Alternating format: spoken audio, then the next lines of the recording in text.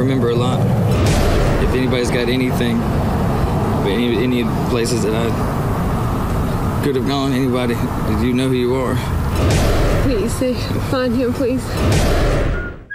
Hi there. Our YouTube analytics says there's a 60% chance that you aren't subscribed. So hit the subscribe button and the little bell so you get notified when a new episode comes out. Do it now. I'm Scott Rouse. I'm a body language expert and analyst, and I train law enforcement and the military in interrogation and in body language. And I created the number one online body language course, Body Language Tactics, with Greg Hartley. Mark? I'm Mark Bowden. I'm an expert in human behavior and body language. I help people all over the world to stand out, win trust, gain credibility every time they communicate, including some of the leaders of the G7. Chase. Hey, I'm Chase Hughes. I did 20 years in the U.S. military, published two number one best-selling books on behavior profiling, influence, and persuasion. And today I give people, including intelligence agencies, superpowers in those things. Greg? Greg Hartley. I'm a former Army interrogator, interrogation instructor, resistance to interrogation instructor. I've written 10 books on body language and behavior, put together this number one body language course at bodylanguagetactics.com with Scott Rouse, and I spend most of my time on Wall Street and corporate America. All right.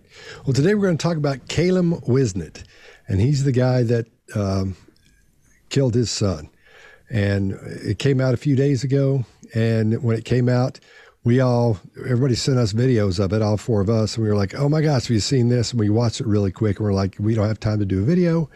Let's go ahead and, and uh, say this guy should be locked up. It was so obvious. When you see this if you haven't seen it yet you'll see what we're talking about. So greg you want to give us a little background on this? If you got some Yes, all I know, oddly enough, I have two degrees of separation with this guy. Somebody I know knows somebody he knows. And the first thing they thought when they heard this was it was him. That should tell you there's some baggage associated. And we can talk about a lot of that as we go through this.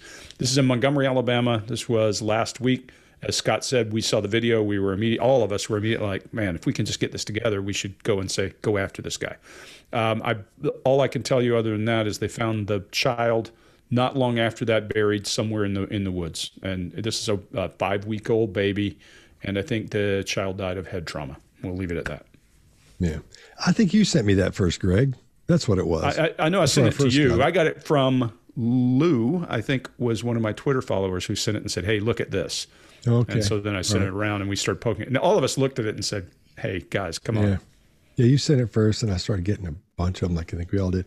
All right well uh, let's take a look at the first video we discovered that a missing child uh, had been reported uh, missing in the area. At this time, the Montgomery County Sheriff's Office would like to enlist the help of the general public uh, to come forward with any information that they may have. They can call us at our non-emergency number, 832-4980, or you can contact Secret Witness if you'd like to remain anonymous. What we're going to have now is we'll have the family come forward uh, to give a statement. All right, Greg, you want to go first? Sure. Watch this. The first thing is you'll see something very conspicuous in the sheriff's deputy or sheriff. He's got a grief muscle himself talking about this case. That makes me think, hmm, they may know something that we're not seeing. The other thing to pay attention to him is when he walks away and he brings the guy up, he cuts his eyes over to the other guy, if we watch the entire video, who's standing there like, hey, don't let this guy get too far because I think they already know. And if you watch the entire video and you go find it, you'll see this other big sheriff standing there. And I, when I was watching it, my wife was with me, and I said, "Yeah, he's looking to f- try to figure out what what size leg shackle that guy wears because he knows he'll be behind bars shortly." It's that obvious, guys, as you're watching this. Now, when the woman comes up, there's a, a thing we talk about called fig leaf, and fig leaf is when a man puts his hands in front of his groin, and that's protecting primary sex organs. Women do the same thing by crossing their abdomen tightly with their arm. It's a barrier, but it's a very specific kind of barrier. It's a protective barrier. This guy's got so much control over this woman. And what you're going to watch as we move forward is something I call distraction. Chase, I, I love the quote you say, according to me. I'm going to say, according to me. I always talk about energy, direction, and focus as being really easy ways to figure out what's going on in someone's head. This guy's energy is high. Now, some of that's induced by chemicals used, I have a feeling, over and over and over, which have changed some nerve circuits in him. But the second one, so his energy is high, his focus is scattered, or sorry, his direction is scattered, meaning all arrows aren't aligning, they're going in all directions in his head. And then finally, his focus is internal. I call that distraction high energy, scattered direction, and internal focus. He's also a nail biter. one of my favorite guys to get in an interrogation room because all that energy that causes people to bite their nerves is going to go somewhere when they feel something, and you're going to start to see it. Mark, what do you got? Yeah, so do take a look at it's actually Captain Trent uh, Beasley, uh, who's the, the gentleman right up front. Really watch him because he does an incredible job of putting even more pressure on during this situation. It's it's almost an interrogation situation that's really going on here. He does a fantastic job. He's division head at that uh, particular establishment. Uh, now, right at the start, it seems like this couple kind of suddenly realize that they're meant to be in a state of sorrow. There's a moment of them kind of just out there doing nothing. And then it's like, oh, okay, we've got to do this whole sorrow thing. And so we see the female uh, covering uh, the, the elbow here, which I wouldn't expect if you've, if you've lost a child. My expectation would be you want to have both of your limbs free. You want to be ready to, to do stuff. You're wanting to get action going in order to retrieve that child. So you're going to be very out there, I, I would suggest, rather than closed up and protecting these vulnerable areas on the body. Uh, eyes are fully averted, so there's a lot of eye blocking there, and full aversion of the eyes seems interesting. Uh, male controlling the the upper shoulder, um, and and the whole joint of the shoulder. So there's a difference between when you take somebody's shoulder here. And when you take it at the joint and you suppress at the joint, it means you're going to have way more control over that person. So there's a different difference between comfort and what I would see is control going on there. Again, interesting to see at this point. Uh, and we've got really quite tense lips from him. We can see drawn up here the musculature, and therefore there's a tension here. Again, uh, interesting to see. I, I, concur with you, Greg. It's lovely to see the other uh, officer or detective over that side, who, in, for my money, is clearly making sure somebody doesn't do a runner at this point. Has clearly blocked off uh, an exit, not only from a security point of view, but maybe even from a psychological point of view as well, to let them know that they're already boxed in uh, on every side there. Uh, Scott, what do you got on this one? So Freud said if his lips are silent, he chatters with his fingertips, and betrayal oozes out of him at every pore. And the same goes for deception. Now, what I'm going to say is not only does deception ooze out of every pore. He's like a remember the wacky water weasel? Did y'all ever have that when you were little? That thing was it's just like looks like a cup. It's got these two goofy eyes on it, a little a little hair thing on it. You plug it into the hose and it like runs around, ah. flies around, squirting water everywhere. And you try to run away from it and not get wet and dodge it and all that. That's what we're seeing here. That's what his deception oozing out looks like. A wacky water weasel. Now, the first, the interesting thing about this is that that all the things you point out, Mark, where, where they're supposed to be together, but her head is is stretched. Her neck is stretched. Her head is almost pushing him away, and you can see space between them both, from from their hips all the way up to her hairline, where she's trying to push, not trying to push him back, but she doesn't want to get any closer than she has to, because this guy is an abuser, and she's she. As we go through this, I'll point out the classic things that that we'll notice from someone being abused and being next to that person and why she's doing it this way uh, more than anything, she's hiding her face over and over, probably because of shame. And, and at the same time, she knows she's lying, so she's trying to hide her face. Um, yeah, and uh, shoulder like Mark. I'm going to the stuff you you did. Or short shoulder is a barrier, basically, trying to keep herself away from him.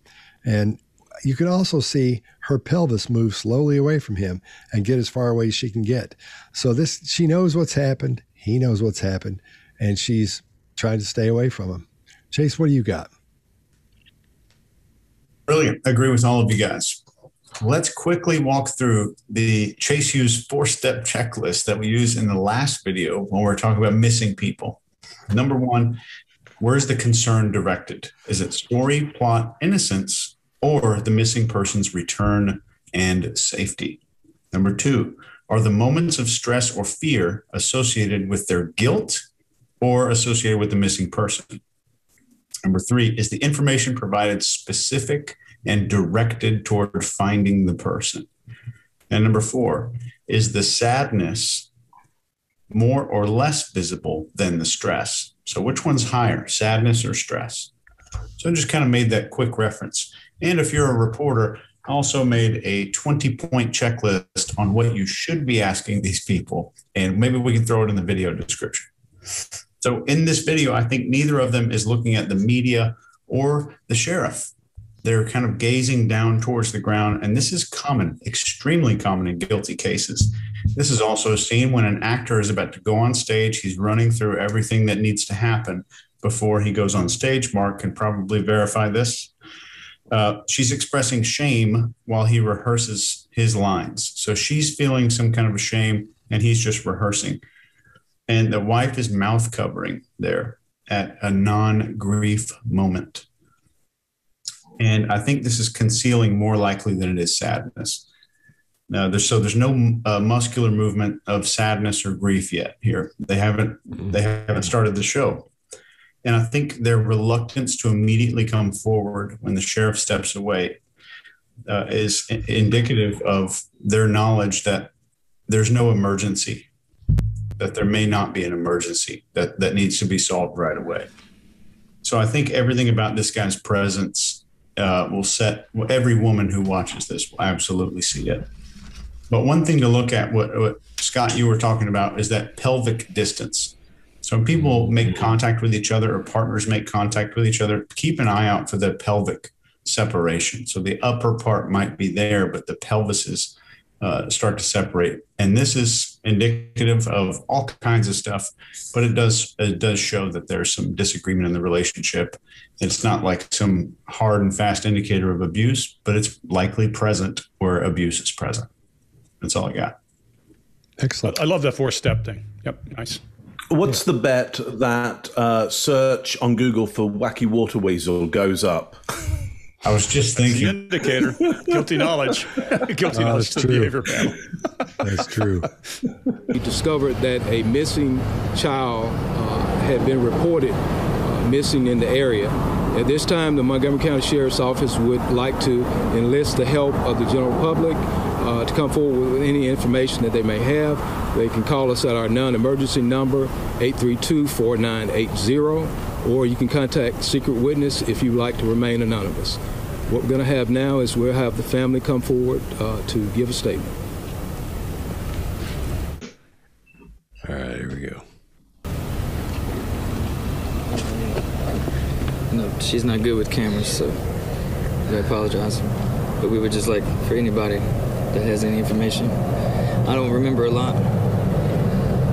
But I did remember I was breaking up, you know, with the cops, but I know that if, if, if anybody's got anything, any, any places that I could have gone, anybody, did you know who you are? Please say, find him, please. please. It would mean a lot. It would mean everything to us. And that's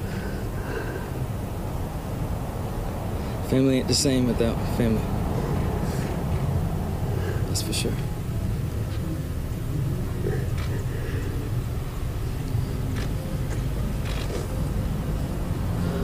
There anything else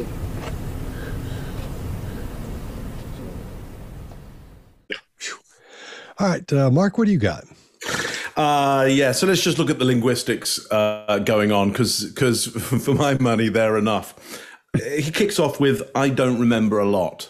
Well, that's that's handy, and I think you know maybe many of you will remember the episode we did uh, just the other week, and Chase was saying, I, I think it was the, the other week. Chase was saying, "Hey, one of the one of the trickiest things you can do to an interrogator is like, I don't remember." Well, he's already started that process of going. It'll be quite a good alibi if I don't remember anything, and you know, there's a good chance there's some drug abuse there uh, as well, and so may well, may well doesn't remember. Okay. Um, I do remember I was breaking up with the cops. Well, that just doesn't. I mean, you know, to, to one of Greg's points last week, sometimes culture and linguistics can come in. But even with culture and linguistics, I don't think that makes any sense. But let's let's let's carry on. Um, uh, if anybody got anything, any places I could have gone, Okay, if anybody got anything, any places I could have gone, uh, anybody, you know who you are. Well, okay, that seems to point in one direction. That seems to point to him. Uh, any places I could have gone, anybody got any places I could have gone, you know who you are. Okay. It's either pointing at him or it's still very confusing. It would mean uh, a lot. It would mean everything to us. And then he continues with, um, family ain't the same without family. Well, let's just break this down. We've got a lot of eyes. It's a lot about I. And uh, there's a lot of about you know places I I could have gone. So there's another I there. Uh, it would mean a lot to us, and uh, so it's all about them and family, not about CJ, and it's not about what you might be able to do out there, what you might be able to do about helping CJ, helping that child right now. It's a lot about us and, and I. And family ain't the same without family. That for me is distancing. So lot of lot of word salad there, which could be cultural, but I don't think it is. I think there might even be some kind of embedded confession. It's about I, the cops, us, and distancing around the idea of family rather than let's talk about the child and how you could help the child right now. I, will leave it at that because I, I, I could take up more, but there'll be uh, there'll be less left for other people. Chase, what do you got? Yep, absolutely agree. We have another case of the missing perpetrator. We need a sound effect. yep. Thank you, bro. And you know, as, as, I'm always fond of saying, it's a great quote that I invented. Uh, you know, the behavior panel wouldn't be the same without the behavior panel. so true. So true. Uh, so the, this entire monologue is story focused and is not not talking about CJ at all. The husband, I think, is a has some mental issues. I'm not a diagnostician nor qualified to make a diagnosis, but this certainly looks like a malignant narcissist uh, on a base level. And uh, the rest of this, the rest of these videos, his behavior is controlling and threatening and while expressing zero sadness, there's zero concern for the return of the baby. And his only stress behaviors are in response to potential threat of being found out or be, or slipping up in the story. There's no grief on the wife, uh, only fear. We do see fear. We don't see sadness and grief. Both of them are more focused on getting this over with. Just kind of let's wrap let's let's wrap this up. Uh, and I think the sheriff already knows that he's he's wanting him to keep talking. And that that phrase, like you said, Mark, places I could have gone. We know where it happened. So I think this is a a, a slip, Freudian or otherwise. Uh, Greg. Yeah, I don't think we're dealing with Einstein here. First off, so his word patterns are probably a, a, result of poor education, maybe you know that kind of thing. It also could be a result of lots of chemicals over time and not clear patterns of thought. Um, the thing for me, I'm going to say this out loud. Somebody's going to feel sorry for this knucklehead in the comments um, and say he needs counseling. Yeah, well, wall to wall counseling is what he needs. He needs some kind of for hurting this kid. Anyway, all relationships have weird body language. They're all microcultures, every one of them. But most relationships don't have the microculture and the expression of fear. When a person holds another person by the shoulders, typically it's comforting. This woman's arm is across her torso and locked up tight. I agree. I don't see grief in either of these people talking about a baby who is missing. Now, Mark, I'll give you an alternative. What I think probably he's saying. He's saying, I remember we were breaking up and we I think cops, he's editing as he speaks because he's cautious what he's going to say. And I don't think he's swift. I think he's just, or my dad would have said he ain't too swift. I think he's just rolling along and he's trying to tell a story and editing along the way. And he's probably saying, hey, him and his girlfriend, wife, whatever the relationship, I'm not sure. Maybe they were breaking up. I told the cops, is kind of what I hear. Remember, I'm a deep South boy too, so I live in the world that's a little different. Then I also hear him saying, anybody who knows where I would have been that sounds code to me like I'm blasted out of my mind and driving around is what that sounds like code for me.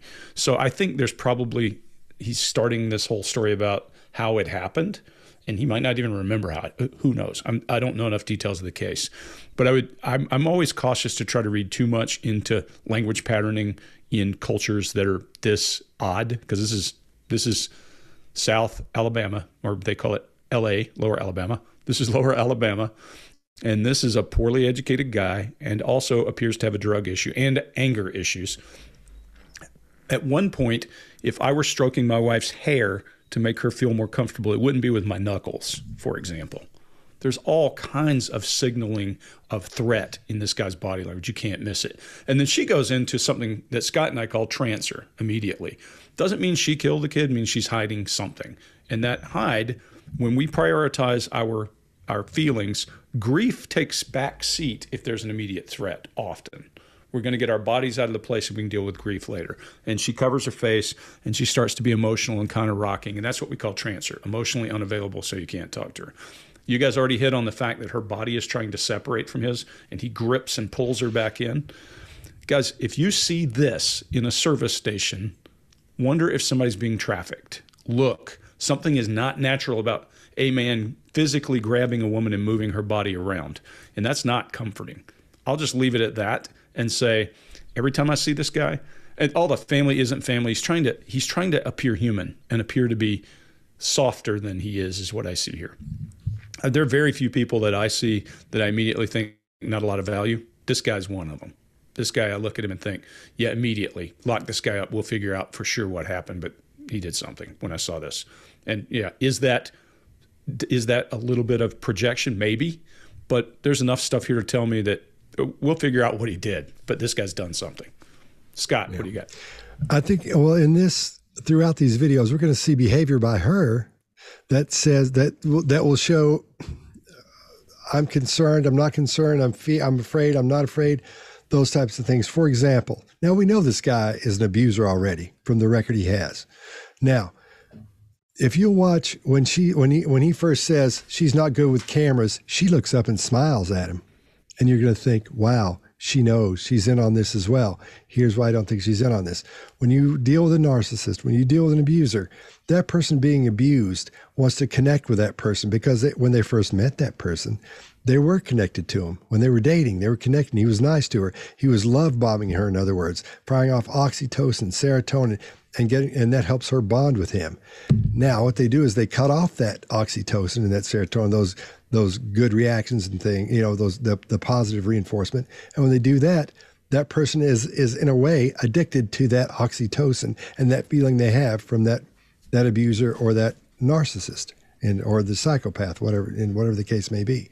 So they'll do anything to make to get some of that, just to get a drop of it, to go like a, a heroin addict would do anything to get to get a hit of the drugs, man. But to get anything, they would they'll they'll they'll try to get positive reinforcement from which gives them the oxytocin blast. That's what we're seeing here. We see that over and over and over. She can hardly lock eyes with this guy. Every time he looks at her, she looks away. And if he when he's looking at her, he's looking over her head, and she's looking at him. And then when he looks at her, she looks away. These are these are classic signs of someone being abused. Um, and the, the hand that when she puts her hand to her face, uh, coming right out of the gate like that, that that denotes, from my experience, shame and guilt, which lets me know, and I'm just saying me personally, that she's got guilty knowledge. She knows what's happened. We know she knows what's happened, but here's how we know she knew earlier, because she's showing us. Because she doesn't know how to act. You're right, Greg. These people are they're idiots. I mean, just I don't care. I don't care what he says. He can't call them. Yeah, they're both idiots. Um, so they don't know how to act. He thinks he knows how to act. He thinks he knows how to act like a person who's feeling sorrow and sadness, but we don't see anything, any any expression of sadness. We don't see any heavy breathing. It's all actually light breathing. We don't see anything that lets us know he's stressed, other than from the, from the situation he's in. But no grief stress is what I'm was what I'm trying to to get to there um, uh, when she's covering her face, she's not she's she's covering her face like this. You see the fingers going like this. She's pushing on pushing on her tear ducts because there are no there. She's not trying to push tears out, but there are no tears in there. And so what she's doing, she's pushing on those because she's thinking tears, tears, and there are none from either one of them. No grief muscle, no nothing. So when you watch her push on her face and you see her with her hands to her face, watch where her index fingers go, right to the insides of her eyes on her tear ducts there. Um, yeah, I could go on, but um, but and and if you're an interrogator, this is how you step in and go, "Hey, man, let's separate. We got to keep them separated." I don't think they've been talked to yet with this because look at the way they're acting. They don't have a story together. They haven't rehearsed it. They've said, "Okay, here's what happened. Okay, that's what happened." Which is what usually happens when people do something. They'll say, "Here, okay, here's what happened. Here come the cops." You sit there real still in the car, and the car cops come up, and you all tell the same story because you've heard the driver telling the story. And so when it comes to the, the guy in the passenger seat or girl, he or she tells the story. The guys in the back seat tell the same story. But when you separate them, you haven't got that story clean yet. That's when you start finding out what the real, who's really being honest and who really isn't at that point. All right, that's, I'm, gonna, I'm gonna stop there. No, she's not good with cameras, so I apologize. But we were just like for anybody that has any information. I don't remember a lot, but I did remember I was breaking up, you know, with the cops. But I know that if if, if anybody's got anything, any any places that I could have gone, anybody, you know who you are. Please find him, please. please. It mean a lot. It mean everything to us. And that's family ain't the same without family. That's for sure.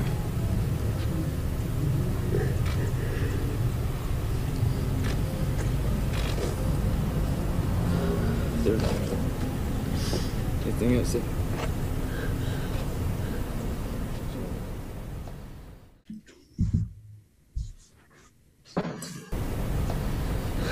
Any questions? Oh, we, we had we had pictures of the baby too, that, but we sent them to the investigator's phone so he would have them to show y'all in the press during the press. Uh, but yeah, if I don't know if y'all can see these pictures, but This is the best I can do. He's only a month and a week old. And there's other pictures with us together, but I didn't. had cro- trying to crop him and do stuff with this phone is not working very well. But Yeah. but we sent him to the to the investigator. Hopefully the press gets him. I, I pray that they do, so that so that they can have a good idea of what he looks like, how Yeah. close we are to the family, and how much we'd really appreciate him if he was returned. All right, Chase, what do you got? Yeah, I think uh, his story is focused around helping the police. We were very helpful to the police, and uh, you can see him request approval from the press because he's looking for someone to start nodding their head. Somebody, please nod your head in the audience. Give me some some kind of thing to relax. I don't think he sees that, and I think seeing the photo of the baby and seeing no approval from the press makes him start to hyperventilate and you can see and hear him starting to hyperventilate. And I think towards the end, when he starts trailing off, we have some fading facts there. But I think he's struggling with consciousness at this point where he feels like he may faint. And I think he's trying to, it's one of those moments where he's like, okay, I'm going to stay awake. I'm going to, I'm going to keep myself up. And he's trying to keep himself from fainting at the end. And he was dismissive about the photo about oh this is it's not going to help anybody. It's not going to it's not going to do much. And he's not willing to send it to the press. He's like oh, yeah maybe maybe the police will send that to you guys. And he's not wanting to send it out. And it, definitely there's managing stress. There's no managing sadness here. There's managing stress. And i'm, I'm glad that you and the other panelists sent this video to us. If you see anything like this that's breaking news, please get this to us as fast as possible in the future, and we'll get a, a chance to take a look at it. Uh, Scott? All right. Um, when she says, "This is the best I can do," uh, uh, this this whole thing, I'm, I'm looking. I've got tons of notes, as I'm sure you guys do. Let's let's go. To, let's skip that part and go to where he says, uh, "We've been trying to crop him." She looks at him and smiles again. Once again, she looks at him and smiles. It's really quick, but take a look at it when he rolls back around. Again, she's trying to get that, that oxytocin thing happening, and she's afraid of him. Every time she looks at him, she knows she better be smiling. Because up to this point, this is as nice as he's been to her since they were dating. I can promise you that. He hadn't been nice to her at all. And you can tell by the way she's fearful, the way she's standing, the way she's trying to separate herself from him. Um, back to my wacky water weasel theory. Um, as he's as he's talking and he tries to connect with with Captain Beasley, he gets in there and he's like, and he's looking at him doing this, and and that guy totally blows him off. That's that's that's hardcore. Just totally looks away because he knows this guy did it, and he's not going to connect with him. And he's just leaving him there to fry, right there in the sun in front of everybody. Doesn't do it. Doesn't acknowledge him. Doesn't do anything. Oh my gosh, that's that's beautiful. And in our thing that in our course, the True Crime Workshop, we have something called we have different. Um, people act different ways. We've named them. For example, this one is romancer again, like Greg was talking about earlier. He's just he's trying to be helpful. He's trying to look and we've done all this stuff. We tried to bring pictures. We tried to crop them we've done all these things and the romancer gets right up in your face and they're like yeah they want to help you. They want to get out and look for the person who's who's missing. They want to do whatever it is you need them to do so they can stay in touch with what's happening. And this guy is just burning you with wanting to help too much and be too he's trying to set the tone that he's a good guy and then he has a family and everything's great and it's just just not working because he's he, at some parts where he's trying to be quiet, he's just talking gibberish. I mean, there's nothing really coming out. He's just talking, and it just sounds. That's talk about leaking. That guy's squirting everywhere. Um, like okay, that's, I, I, Greg. What do you got? yeah, he's squirting like a water weasel. Yeah. So you talked about the woman looking at him and smiling. Primates are cousins, chimps that is a primal thing they do out of fear. they show their teeth out of fear. We think of it as something else, but I think that's that kind of smile when she's looking at him, trying to connect and looking back. Um, he does a little distaste thing there at one point where he does a tongue jut. All of this is his prepared look at what I can do. He's giving you everything that he's put together. Hey, we did this and we did that and we did this and we did that. Well, it's your kid. Of course you should have. Still no grief muscle. The sheriff had that grief muscle in the beginning. He doesn't have it yet. Um, he does something. I think it was you, Scott, who brought up that people who use drugs have two faces, or we talked about it collectively, where they've got one for the for the police and then one for their dealer, the people they're dealing with. Well, this guy's trying to put on his best face, and it, it, ain't a good one. But he's trying to do his best to come across as believable and trustworthy and all those things. And his distraction is showing again. Remember, I said distraction is high energy. Um, misaligned arrows, arrows going in all directions, and focus is internal. Well, his reason for being distracted is standing right beside him. What if she says the wrong thing? And that's what I think it's all boiled down to at this point. And so we see a lot of this stuff coming up and boiling. And his brain is trying to prioritize the right thing to say. And that's when he starts to come out at the end with just gibberish words I often say that when people are editing to deliver a message, we've all interrogated prisoners, and when they're telling you something that they prepared, when they get to the end, there's still other stuff left, what you would call word salad, Mark. I call that it's kind of like if you're typing in a document and you're constantly editing and you don't take all the crap you leave at the end out, that just rolls off their tongue. And it does it more based on people who have less self control and those kinds of things. So the more of that I hear, the less self control I think the person has. That's what I see. And that's where we're at. Uh, Mark, I think it's you, right? Yeah, lovely. Uh, so, you know, all credit to Captain Beasley there, who is doing a masterful job of doing absolutely nothing and letting them just boil there. It reminds me, it just came to mind here. I, I, we used to have this little game. Uh, live on, on live theater stages what would happen eventually is is somebody's in front of you you know doing dialogue with you in front of a large audience and they just dry which means they forget their words they don't they've gone the words have gone sometimes you'd help them out sometimes you would you know deliver them the line or do their line for them or or ask them a question which would trigger them and some days you know when you're eight months into a run in the west end sometimes you just think nah I'm just going to let you fry. and you just look at them and smile, and you might say, You're on your own. And what would come out because they now have to get themselves out of this. And because of the adrenaline or the boredom or whatever it is, they have no idea what they would make something up and it would be a gem, especially if it was Shakespeare, because they'd have to make up a whole bunch of stuff. They just, and that's what's happening here.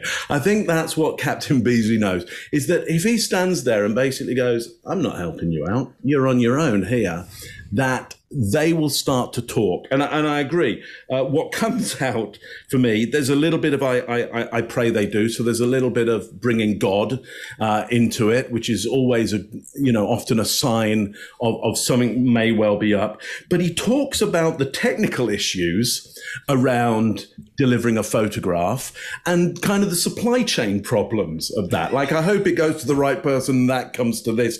You know, I've got a, we've got a lot of worries about the whole technical issues behind the photographs and the whole supply chain. We just really haven't sorted that out. Well, you know, that's he shouldn't be in that situation. He should be like, here's here's a photograph. You know, that's going to work for you. You would want them to see a picture. You wouldn't want to be talking about your supply chain problems. And then by the uh, oh, by the way, I completely agree, uh, Greg. Uh, uh, it's it's appeasement smiles throughout from the female here, and and and you know, watching this now, you want to be sure that you understand all the different smiles out there you know, there are many, many different types of smile. And sometimes people smile because of pleasure. And sometimes they smile because of fear and sometimes appeasement to get on the right side of somebody. I think there's an element here of, of, of appeasement. And we'll see that in a moment again. Anyway, the last one there that I want to point out is, is, the kind of fading facts or gibberish that happens at the end there, which for me triggered in me remembering some of the jazz musicians that I've heard play, and when they introduce a song, and they'll come up close to the mic and go, "So, so this one is uh, jazz," and, and there's a bunch of stuff like, "What do you?" What's the name of the song? What's it? What's it? What's it called? Anyway, just remind you know, and only make light of this because you've got to, because it is so clear that there is something up here. And a five five week old child involved in this. You know sometimes i don't know what else to do but look for the lightness and the fun uh, around this because you know there's no bringing that kid back uh, again. It's extraordinary. There there's there's my bit on that. Any questions? Oh we, we had we had pictures of the baby too that, but we sent them to the investigators phone so he would having to show y'all in the press during the press. Uh, but yeah, if I don't know if y'all can see these pictures, but this is the best I can do. He's only a month and a week old. And there's other pictures with us together, but I didn't. Crop, trying to crop him and do stuff with this phone is not working very well. But yeah. but we sent him to the to the investigator. Hopefully the press gets him. I, I pray that they do, so that so that they can have a good idea of what he looks like, how yeah. close we are to the family, and how much we'd really appreciate him if he was returned. Um, can you tell us what's the last thing you guys remember the last time you all were together? Saturday? Yeah, Saturday was the last time we were together. Saturday, Saturday night. Saturday night. Was, yeah. We were on together sleeping, and well, the baby with me and her in the bed, and Toulouse in the other room, because we usually, you know, we usually are together as a family, but.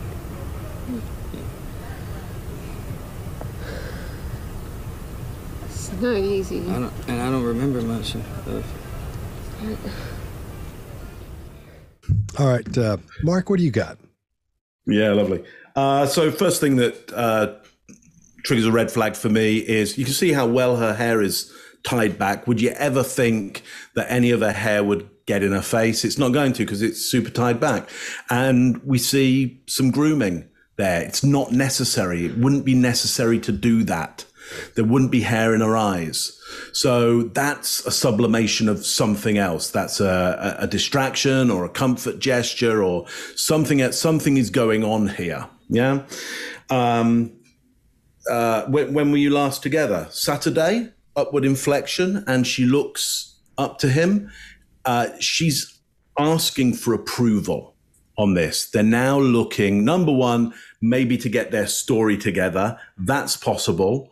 Or somewhat the story has been got together and she's going, Hey, am I, am I getting this one right? Do you approve of how I'm performing here? Could be an element of that there. Um, then she puts herself into the victim there. It's, it's, it's not easy. Oh, very muddy timelines, by the way, just muddy, muddy timelines that already don't make a great deal of sense. Puts herself in the victim state there. It's not easy. And then he goes, and I don't remember much of. So we're back into the not remembering piece there, which is either a tactic or he sincerely has no idea what was going on there. That's a possibility as well. I just want to give you um, one little model or a series of models to think about how they're behaving and how they're performing right now. Uh, you can think about things in terms of, um, I think it's Joe Navarro's idea there of comfort or discomfort. That's a good way to just have a simple way of going, do they look comfortable or do they look uncomfortable right now? I often think about things like warm or cold. Do they look like they're warm and open? Or do they look like they're cold or closed? I've maybe told you about these before, but I want to give you one more of these which is are they being direct or indirect? And so direct movement is very, very clear. It seems to go where you think it should go immediately and it gets there relatively quick. And when it's there, it really feels like it's landed. Both of these two, especially the male, are super indirect at the moment. It, it is it is a Scots, you know got his his his uh, his model there of the uh, wild water weasel whatever it is.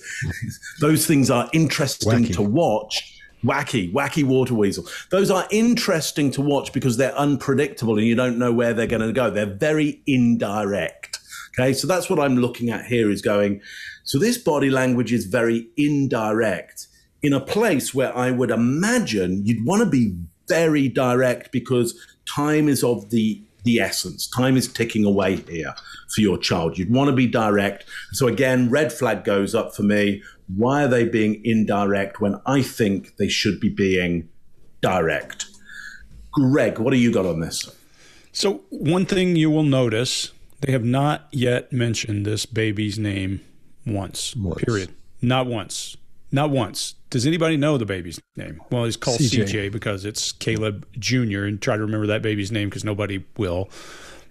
But they are so internally focused, internally focused that they're trying to get their message out without paying any attention to what these other people are doing. They're keenly unaware that people perceive them the way they do because that you can see they're actually a little amused that they got their story out that it was Saturday. And she looks up for approval, agreed. Oh, yeah, it was Saturday. Now she's looking to this guy for approval and requesting approval from him. And if that's your strong point, that left shoulder's whipping because it's uncertainty when he's answering every one of those.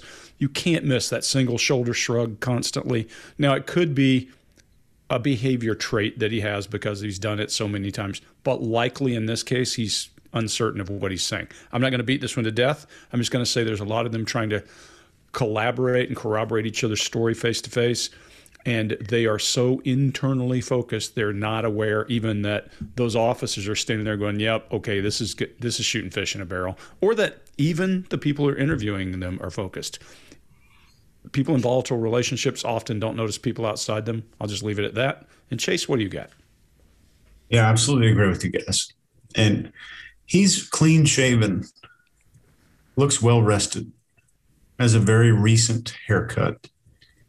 And she's repeating his words, sometimes verbatim, and looking up at him with uh, trepidation. I don't use many three syllable words, but maybe Mark can make sure that's the right one. Good Four syllables. And I think hypothetically, if there was a scenario where a narcissist husband did something to their be- to his baby that would probably lead to a conversation of We can't fix it now. It's already done. Uh, you can either ruin my life, your life, and the kids' life for the rest of our lives, or you can get on board. The only way that we're going to fix this, look at me, look at me. The only way that we're going to fix this is to get this story straight. And we're going to go to the police. That's the only way I'm going to be here for the kids. Everything's ruined for you, for the kids, for everybody. If any of this goes to police, all we're going to do is screw up our life. And that's, that's, I, hypothetically, uh, what I think might happen in a, in a scenario like this, which is um, pretty bad. Scott? Yeah, I'm glad you picked me next because you're right, man. You're exactly that's. exactly. I'll bet you. I didn't think about it that way, but when you say it, it's like, yeah, you're right. That's exactly. You know, look at me. So you don't go to prison too, because we're all going because we waited this long. But she can't help it because she's afraid of him. So no wonder she's not going to say anything. You know, when he says, when they say, "When's the last time you were together?" They both pause and think about it. Greg, if if if uh, you if somebody if you said that to somebody and they and you were like, "Well, when's the last time you saw him?" What are you going to do? Yeah. Oh yeah, yeah.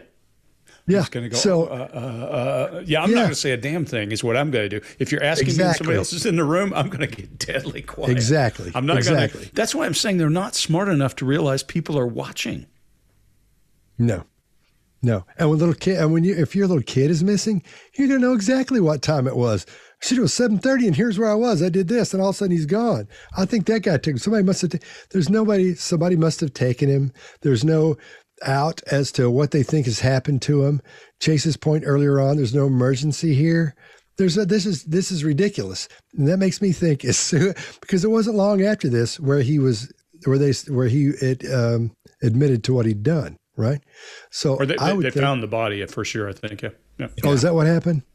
Yeah. Okay. Well, I don't know what how the how the thing unfolded, but yeah. all right, because I would think, I think that Captain Beasley would take him in, take him in a room and say, "You set your down right now. Now, what do you think's going on?" And doing that whole thing, not being nice, not being, "Hey, let's talk about what's that." None of that. You go to the damn jugular right there. So in this in this case, well, I'm going off on a tangent. Um, they know ex- he says nothing when that when when they ask that. And notice it's a woman asking it, you know. And and ev- the first few questions are all women. I'm sure they're dying to to, to be talking to these people because they see it on them. And and when he, said, "When were you all last together?" He doesn't say anything. He says nothing because he knows when they're last together. And then she says Saturday night, and then he says, "What part does he say where she looks back up like, well, that wasn't right?" There's a part where she looks up and says that. Anyway, she's fidgeting around. She's so uncomfortable. She can't hardly stand it.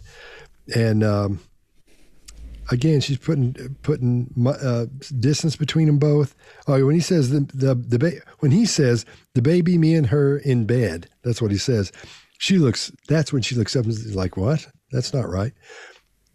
Uh, I think he. I think he did that. The the he was out and the baby was out in the same room he was. I think whatever he did, he did that and then took the baby out.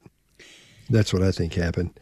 Um, and and while she's while this is going on, she starts texting.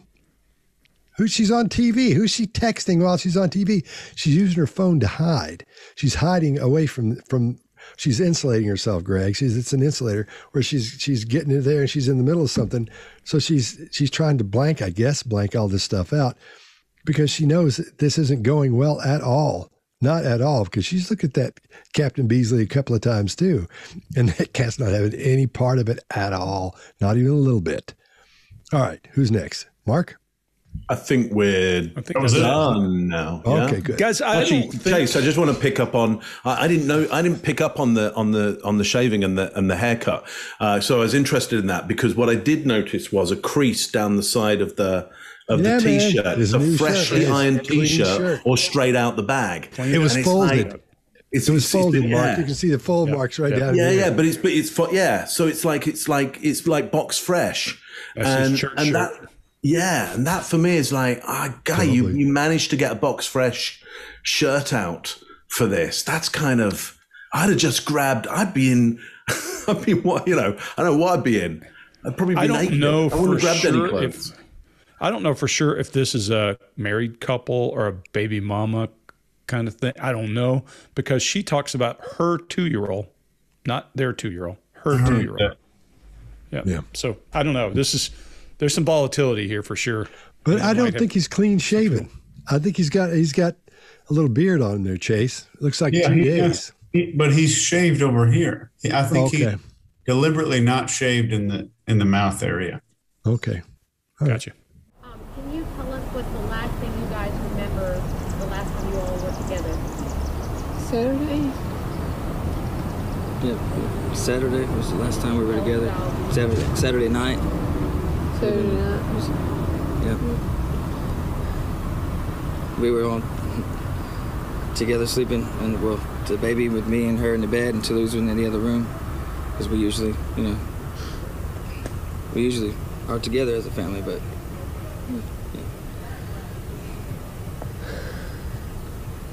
It's not easy. I don't, and I don't remember much of. All right. Here we go. When did you all realize that he was missing? I they they didn't. I was home with my oldest, my two-year-old, and he was with. CJ was with him, and I forgot. uh, he went to go pay gas at the gas station and realized that he was gone. And he let the police know and me know that he was missing.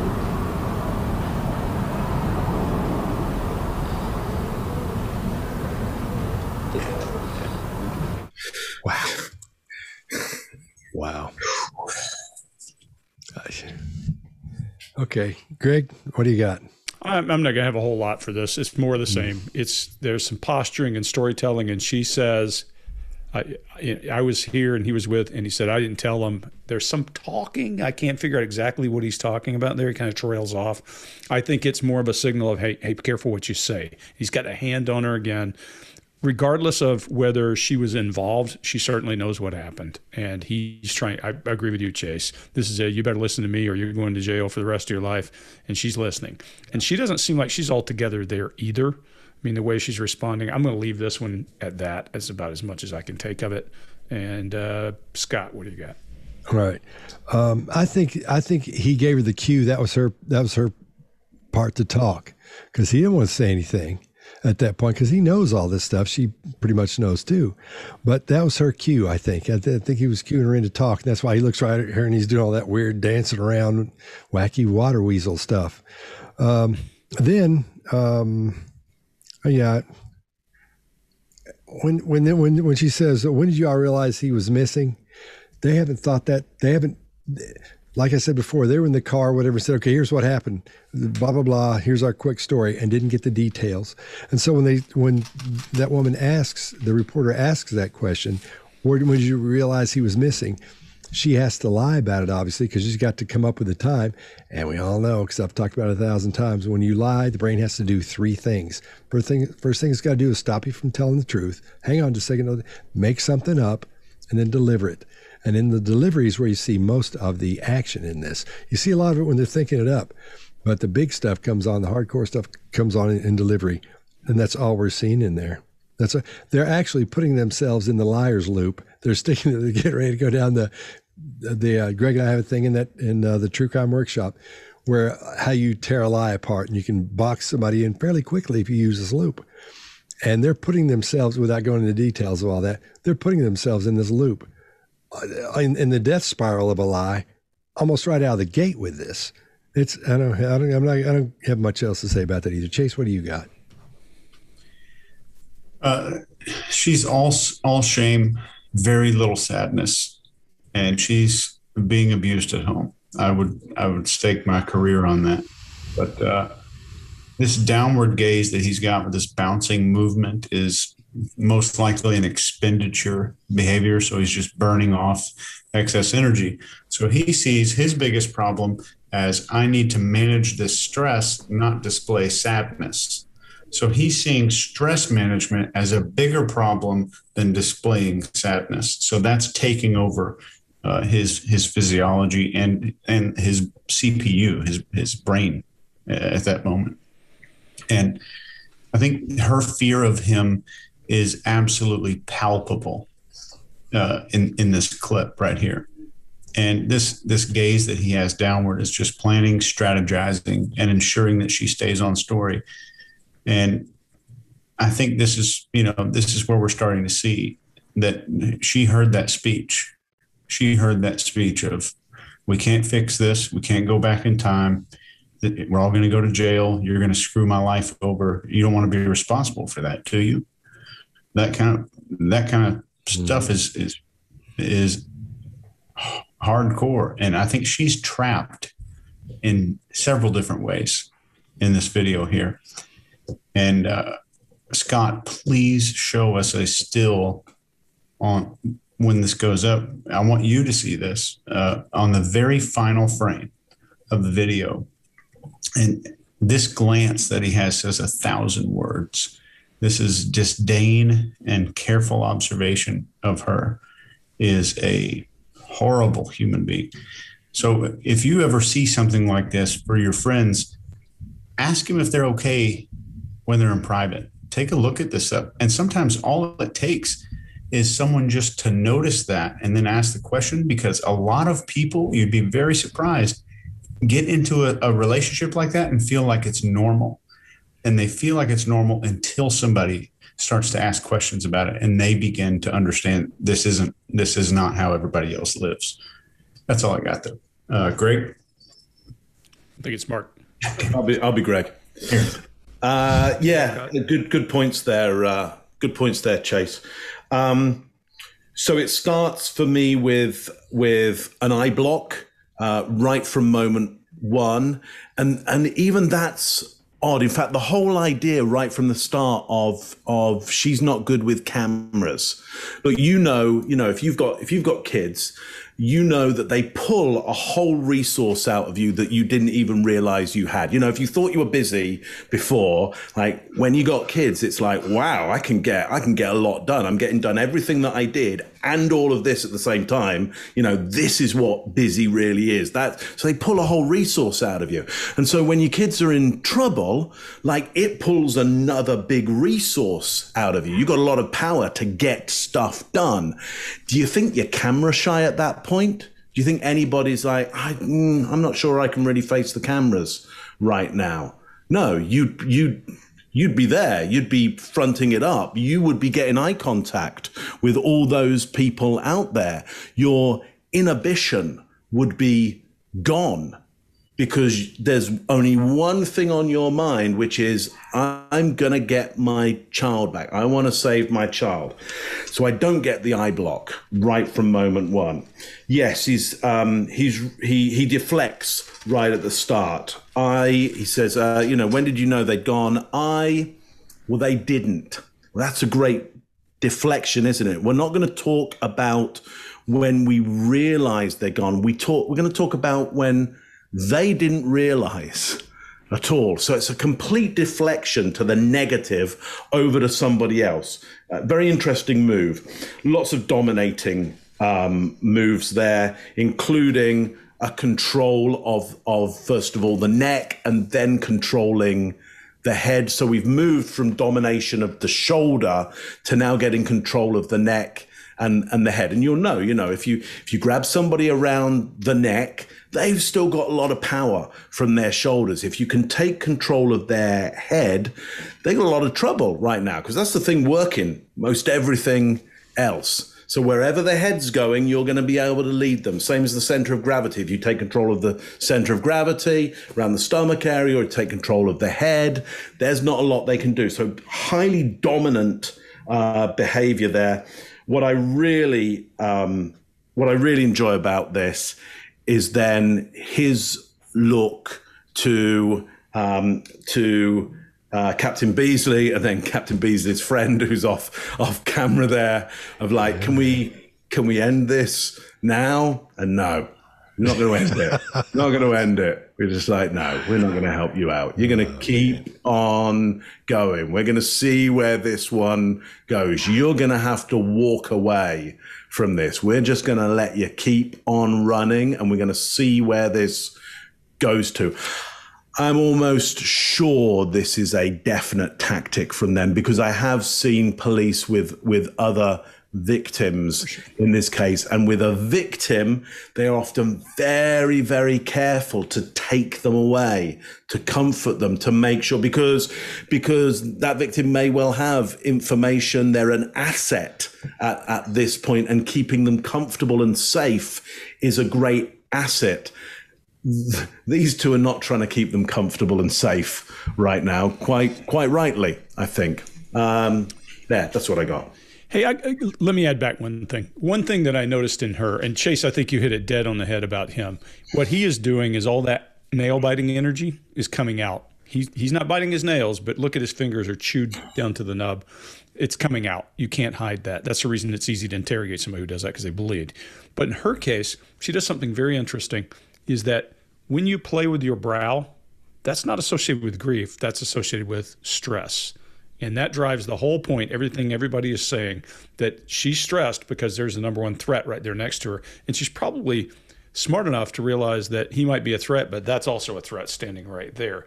And that threat or that danger is going to override her grief in this case, whether she has grief or not, not sure. But look at that playing with the muscle in her forehead. Every one of you has done it instinctively. Put your fingers to there because those two lines that are going up are not grief; those are concern or other negative mm-hmm. kinds of things. But look at it and pay attention. It's, there's no arch; it's just she, she's playing with her forehead, and it's also eye blocking. Also, I think that I think she is becoming his adapter, as he's squeezing on her, and like you would like those little, you know, stress balls or something. He's doing that stuff to her. She she's how he's getting his his uh, stress out is on her, which is I'm sure he does in life because he's an abuser. So that's one that's one one that stood out to me. When he's got his hand around her neck and those types of things. We'll see him get even tighter here in a few minutes. I think he's using her as an as his adapter, you know, or his adapters are are he's releasing that energy on her. Just yay. Yeah. Yep. When did you all realize that he was missing? Uh, I, they they didn't. I was home with my oldest, my two year old, and he was with CJ was with him, and uh, he went to go pay gas at the gas station and realized that he was gone. And he let the police know and me know that he was missing.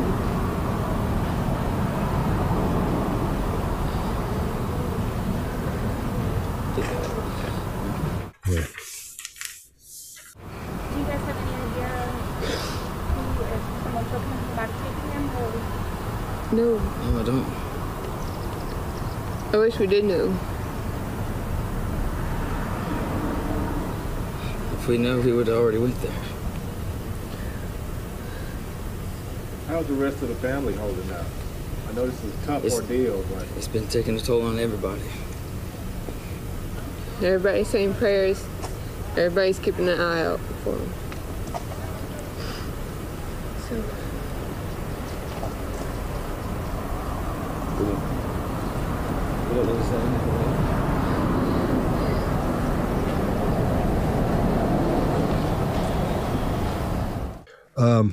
Chase, what do you got?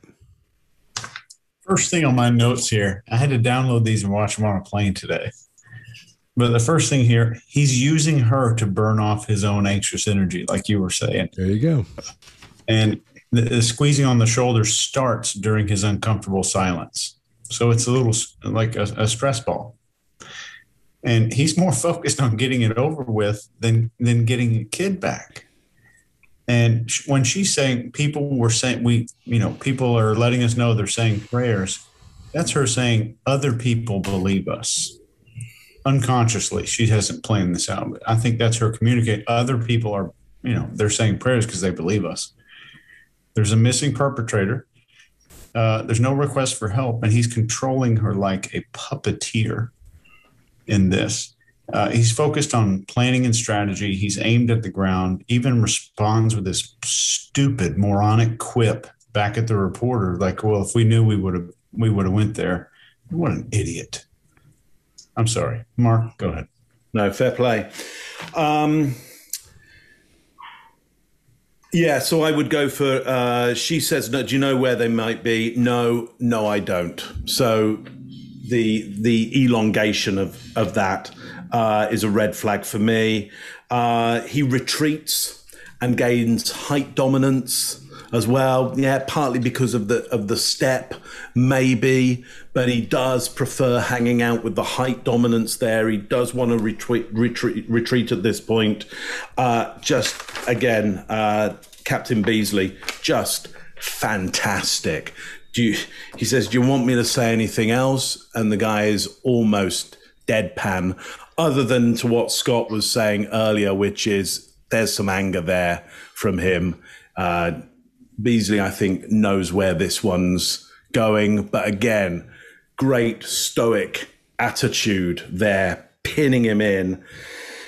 Uh, what interests me most about this is the grooming gestures that go on. So you'll see the female start to run her fingers down the the, the side there in a in a kind of a, a, a scratch, almost sexual grooming gesture there. Again, she's appeasing, she's soothing him, she's appeasing. It only happens very quickly. And then I think she realizes that that's not what I should be doing right now. We're meant to be doing grief right now, not keeping my husband, keeping him happy, keeping him subdued, making sure he doesn't go off the rails, get angry, right now. But I think we see that moment of what she's used to doing, which is keeping him relaxed, keeping him subdued, keeping him happy with these grooming gestures. And we see a grooming gesture for herself as well.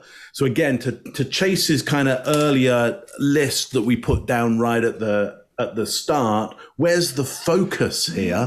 The focus isn't on can we make sure the child is okay? The focus is on, am I okay? Are you okay? Which, which we might see in many of these examples, a sense of, I want to look after the child and I want to comfort my partner at the same time. It's not that you can't in these situations have comforting of the partner.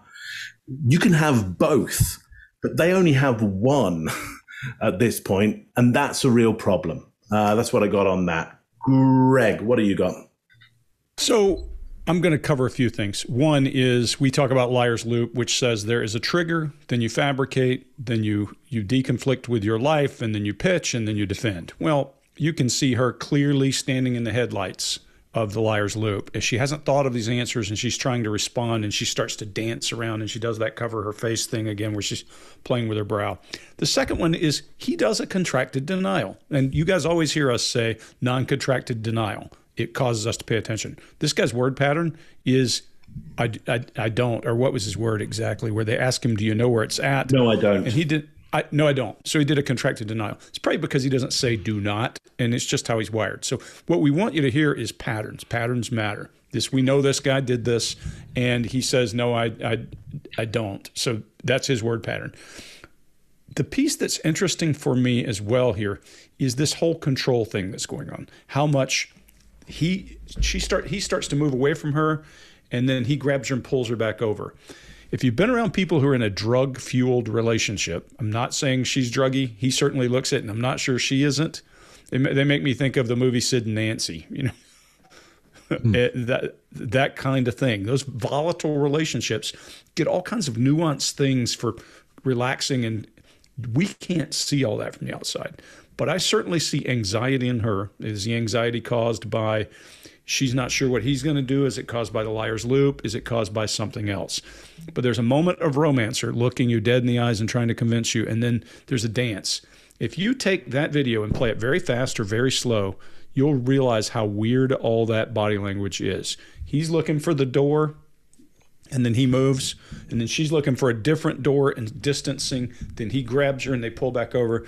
It's like two mimes in the park almost if you if it were not such a horrible thing. You watch it that way you'll be amused because it, it's an absolutely foolish looking dance and that's the kind of thing that happens in relationships, especially volatile relationships, is that dance and that not being able to separate. Now, I don't know what he thinks he's accomplishing by doing that, by grabbing her and moving her. I think you're right. Chase is just his adapter and his way to release nervous energy, but it surely looks bad. And there's no way that I look at that and think, okay, they're both being honest. She's not anxious. She's not trying to get away. Again, if I saw That at a service station, I might think, hmm, what's going on? We're, we're going to do something on trafficking, on human trafficking. And this, if you see that kind of behavior and the people are not together, then you know it. I've, I've been in situations in my life where you happen on an abusive relationship. When I was a young guy and used to go to bars, guy in the parking lot slapping his woman around, as he called her. And I went over to stop it. You know, it's that kind of behavior that I saw there. I saw, no, you're not moving and keeping control. Really weird, I'm, I'm going to conjecture just like you guys do. This is there's something going on home, and she's listening. It's because that's how they work. That's all I got. Uh, Scott. Yeah, uh, right out of the gate on that one, we see when she's rubbing her face and bouncing around. Those those are all Uh, adapters for her, trying to get rid of that. And like Greg, you pointed out to us, I don't think you point you. I don't think it came across on where we're talking here that you usually don't you know, touching your forehead. That right in there isn't something where you show sadness. It's where you show you're dealing with stress. I agree. I, I can't remember if we had that if we were doing that where you're off or, or not. Don't remember. Just to, in a uh, just to wrap it up quickly, she's. I think what we're seeing in her a, a myriad of emotions coming from her. No sadness because I think she's sort of in shock that this has happened. I don't know how long after the, the, that he went missing that this has happened. That CJ went missing, but she's feeling she's got fear, she's got shock, she's got a frustration, a lot of frustration when she when she looks at him a couple of times, and then she has to be nice to him and, and smile at him. I think she's a, she's a wreck, and I wouldn't be surprised if she's the one that said, "Look, here's what happened," you know, after taking his him in the room and going, "Look, you know, tell me what happened." She's she probably opened right up after that, and they probably understood that that she was the only reason she didn't say anything. Back to Chase's um, speech to her, what he, what the guy would say to her, she probably said that. You know, he said he'd kill me if if I didn't do that. I think she's really afraid, and I agree with you, Greg. This is this is exactly the behavior you you see when somebody's being controlled. You know, and Mark talking about actors, I think the actor that could do this and hear me out because it's it has nothing to do with looks. Brad Pitt could do this. Hand to God, I think because he can look that uncomfortable. I've seen him do it in a couple of movies, and man, this guy is so uncomfortable. You can't you can't fake that. But I think that's the I think I think Brad Pitt could do it. I think he could act. Pitt is the is the king of the of the wild wacky wacky water weasel. He there are a number of characters that basically Cast. he's doing he's doing uh, wacky water weasel acting. You know how we're all the time. It's his method. It's his method. Exactly.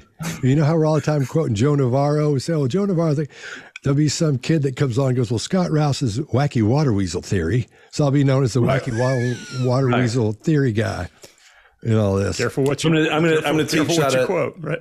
Teach that at acting schools. Do you guys have any idea who if someone's looking about taking him? No. No, I don't. I wish we did know. If we knew, we would have already went there. How's the rest of the family holding up? I know this is a tough it's, ordeal, but it's been taking a toll on everybody. Everybody's saying prayers. Everybody's keeping an eye out for them. So.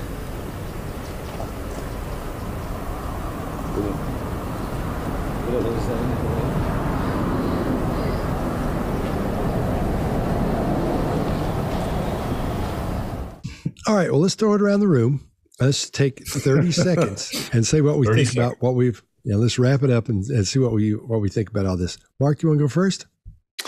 Yeah, sure. So uh, for me, what's most interesting about this is that control of the shoulders, control of the head area.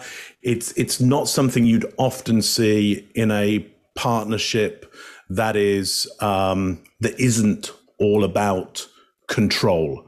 So one to look out for, I think, as many people have said, but really clear examples of this: controlling of the of the shoulder and controlling of the neck and the head. Uh, Chase, give us your thoughts. These kinds of people are obsessed with status, hierarchy, and self image and how, how they're seen by other people. I'm willing to bet money he's texting other women. They're going to probably find that on his phone. And he's doing that to, to improve his self image because he needs someone else to see him brand new on, on a regular basis. Scott, I'm sure you've seen those kinds of people. Maybe comment on it. Uh, he has zero mirror neurons. He doesn't echo any of her emotion. His discomfort comes from her touching her face, and he's worried that she's going to give it up the whole time. Uh, that's all I got, Greg. Yeah. First, drug guy thing, right? Drug guys have that dual personality kind of thing. They have to share an image that somebody needs to see. I think he's trying to do that, and his image is not that polished. His best foot forward is not a great forward. So, got that, number one. Number two, he's antsy as as all hell. He's a nail biter, and you can't. Not that you know, lots of nail biters don't do this dancing thing he's doing, but energy's going somewhere. That's the reason people bite their nails. It gets to be a habit, and, and it just chews it back. I think whether she knows exactly what happened, or she was there, or he came in and told her, or whatever, she has suspicions. She certainly has some guilty knowledge of some kind in this. We can't tell exactly what, but we can see that she's hiding it and she's doing stress, not grief. The brain has, I learned, first thing I learned in body language, I always tell you guys, is if you put pressure on a person who's crying and they're really crying, it'll get worse. If they're using a part of their brain to call up and summon crying, it'll fade because the brain is not good at running multiple programs. We we don't truly multitask. We simply flip between programs, and these are not I, I neither of these guys strike me as overly intelligent. I think they're so internally focused. They're unaware of how the world's going around them, and some of that is probably related to substance. I'll leave it at that. And Scott. Yeah, I agree. I think we're dealing with idiots, full on, full blown idiots, because I don't think they understand the gravity of what's happened obviously. I mean, she's really worried, and she's she's got so many things to worry about. She understands that there that it's bad, and he does too, because I'm sure he's thinking, well, shoot, I might go to prison if this doesn't work, and doesn't realize it didn't work from the time he walked out of there. From before we saw him, we know that Captain Beasley knows this guy's full of it. He knows he knows that guy did whatever it is that they're going to find out. He had something to do with it. So I, this is just this is a um, like a big old jumble of emotions and feelings from frustration and and fear and sadness on her part to at nothing on this guy's part except worrying about himself. I agree, Greg. He's he's directly focused on him. Everything starts with I. He doesn't he doesn't open up with when they say where eh, do you know where do you know what happened to the baby or whatever. He doesn't say no, we don't. He says I don't. Uh, it starts off with I. He's just, this is just, it's ridiculous, ridiculous. So I hope, I hope, I hope it uh, gets everything he's got coming to him. Hope it gets to him quick, especially when he gets in prison. So they don't like that in there at all, not even a little bit. They don't. All right. Yeah. All right. All right, fellas, that was a good one. Oh, if you like what we're doing, please subscribe and uh, hit the little bell. That way you'll know when you have something come out. All right, fellas. See you next time. Deal. Bye now. The Behavior Panel. Hi there. Our YouTube analytics says there's a 60% chance that you aren't subscribed. So hit the subscribe button and the little bell so you get notified when a new episode comes out. Do it now. Perfect.